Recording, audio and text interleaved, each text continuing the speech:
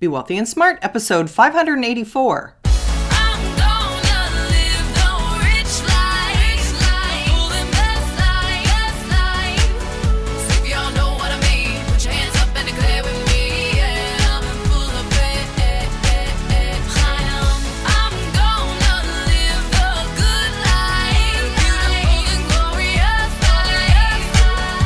Into a world of wealth and financial freedom without budgets, boredom, or bosses on Be Wealthy and Smart.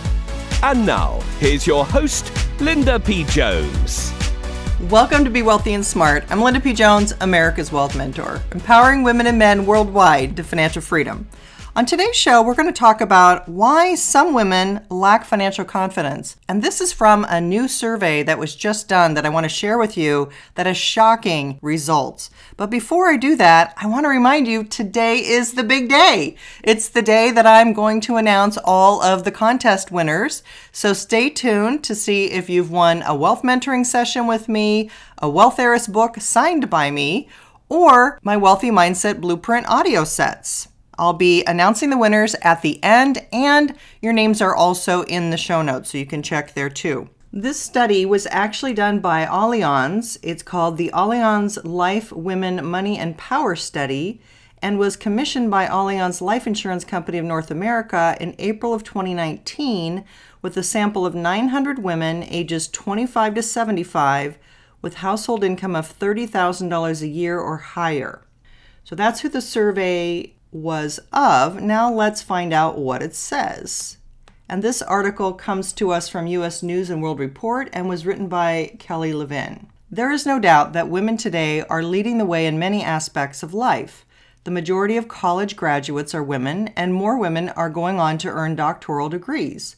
Women are making up larger percentages of key business and government leadership, and conversations about female equality and empowerment remain top of mind for many. Yet, when it comes to investments and finances, recent data is painting a surprising, less than positive picture. Counter to what one would think, women are actually losing ground. According to the 2019 Women, Money, and Power study from Allianz Life Insurance Company of North America, women are experiencing a downward trend in several areas of their financial lives, with over half, 57%, saying they wish they were more confident in their decision making. The biggest drop was in the number of women who say they are the breadwinner in their household, just 38% in 2019, down from 47% in 2016 and 60% in 2013. In addition, fewer women say they have more earning power than ever before, 42% in 2019 compared with 50% in 2016 and 57% in 2013. And fewer women say they are the CFO of their household, 47% in 2019 compared with 51% in 2016 and 53% in 2013. This downward trend is a bit puzzling, especially when you put it in the context of women's rising social power. And while everyone's financial situation is unique, there are a few overall trends that may shed some light on why women aren't feeling financially empowered and why more than half, 57%, say they wish they were more confident in their financial decision making. The past year and a half has seen ongoing market volatility that may be concerning to some women, or anyone for that matter. The study found that women are feeling pessimistic about current market conditions, and 44% admit they are feeling anxious about the volatility in the market. Further, only 36% are ready to invest now based on current market conditions. Watching your investments take major hits repeatedly isn't likely to make anyone feel particularly good about their financial situations. While it's not always fun, the age old advice remains in times of volatility, leave investments where they are and ride it out. Another interesting finding is that fewer women report working with a financial professional. Only 25% of women say they currently have one, down from 30% in 2016. Even among those that are working with a financial professional, they are less likely to say they feel confident and prepared for their financial future. One potential reason is that they are feeling left out of financial planning conversations. Of married slash partnered women that are working with a financial professional, an increasing number say their financial professional treats their spouse slash partner as the decision maker 60% in 2019 compared with 51% in 2016. Also, fewer single women who are currently working with a financial professional report that that person is their go to source for information. This could be tied to the fact that single women are most likely to say they actively use financial technology, such as tools and calculators, to help with managing finances or investments when compared with married, partnered, divorced, or widowed women. No matter your marital status, it's important to find a financial professional that understands your unique position and the financial planning and investment needs of women today. Despite the drop in confidence and other key measures, more women say they are taking on at least some responsibility for managing their household's long term savings and investments, 90% in 2019 versus 86% in 2016. With this increased responsibility, more women say they are setting financial goals for themselves but have a hard time following through, 28% versus 22%. Fewer also report being good at saving for short term goals, 68% versus 75%, or long term goals, 53% versus 66%.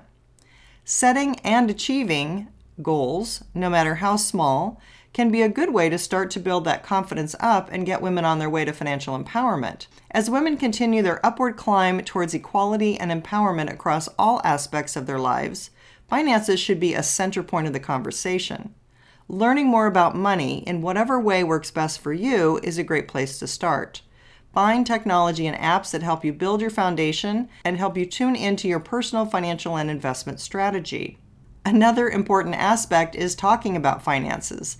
In some cases, people may feel it's a taboo subject, but talking about finances shouldn't be scary whether it's with friends, family, or your partner or spouse. Of course, key to this is talking with a financial professional who understands your family dynamics and your specific needs and wants when it comes to money. Building financial confidence takes time and it's certainly not easy. The first step is raising awareness of the issue and then fighting the right resources and support to put women on the path back toward financial confidence. End of article. All right, I have so much to say on this, but I've said it recently in some of my podcasts on women. First of all, 61% of women would rather talk about their own death than talk about money. So, right there, we have an issue with not wanting to have a conversation about it. So, just telling someone to go have a conversation isn't going to make you feel comfortable. Rather, I think we need to address some of the issues why women feel so uncomfortable talking about money and why they don't feel they have financial confidence a lot of that just goes back to education. Because we aren't educated about finances in school, it's very difficult for women to feel confident. Studies have shown that women don't just jump to the next level without really understanding a concept. They want to really understand something and feel they know it, and then they will say, Yes, I understand it. They're not one to reach and say they understand something I'm talking about more in a work context, but the studies showed that when women were asked about promotion, they didn't feel that they could apply for the promotion until they knew all of the job requirements that the promotion required. Whereas men were more willing to apply for a job promotion even if they didn't have all of the qualifications. It's just a difference between men and women. And it comes back to women valuing security a bit more and men being a little bit more comfortable with risk taking. I've seen that. That's a broad generalization. It's not true for everyone, but a lot of times women do tend to like security more and be less comfortable with risk taking. And add that to the fact that there isn't education on finance or investing in schools, and you've got a formula for women just not being comfortable to talk about it. I've also heard a very common complaint for women who work with financial advisors, and that is that their questions aren't answered or they feel that they are treated as if the questions are stupid or they're put down or they're just ignored and not listened to, even if they're the major breadwinner. So, we also have a situation where women aren't comfortable with a financial advisor, aren't feeling listened to, valued, empowered by a financial advisor, and certainly aren't getting the financial education that they need. And personally, I don't think an app is the answer to that. If it were, I would have created an app for you already, and you know that. I think the answer is education about how markets work, how to invest, what's going on, and make it not intimidating because goodness knows women already have enough on their plates. I think women who are becoming empty nesters are finally feeling like they have enough time to maybe take on the financial education aspect in their family and learn more about it and become more of a 50 50 partner in the household about it if they're not already the lead CFO of the family. Because women are understanding more and more that they're likely to be the one that outlives their partner. And as such, they need to have that financial education and understanding and not put that off to learn sometime in the future. So I'm glad that you're here with me today so that in 15 minute little mini lessons, you can learn financial things and you can put them into practice and you can gain financial power and confidence from that. And of course, men can too. But I think sometimes there is more of a natural inclination for men to want to understand financial matters and have an interest in financial matters. Sometimes women are too busy, sometimes they're focused on the family, sometimes there just is a lack of interest. And sometimes women are fantastic at it. When they do turn their focus and their interest on it, they usually excel. As we have seen, female investor groups have actually outperformed male investor groups, mainly because they are more long term focused and will hold on to an investment for a longer period of time. And since markets that go up, bull markets, are about 80% of the time, that will work to a woman's favor to be a long term holder of an investment. But here's the thing I'm all for financial empowerment, whether you're a woman or a man, it doesn't matter to me. But I do think that the women need a little bit more support and maybe a little more help getting interested, perhaps, perhaps for some. And hopefully that's what I do well here for you on this podcast. Nonetheless, it was very concerning to see women falling backwards in this study. And although it wasn't a huge censorship sample. It was only 900 women. And I think there can be some bias because it's not a larger sample size. I do think it's concerning to see trends moving in the wrong direction, and we definitely want to correct that. So you're in the right place to turn that number around. And another thing that's going to help you turn that around is if you're a winner of one of my contest prizes. So let's talk about that.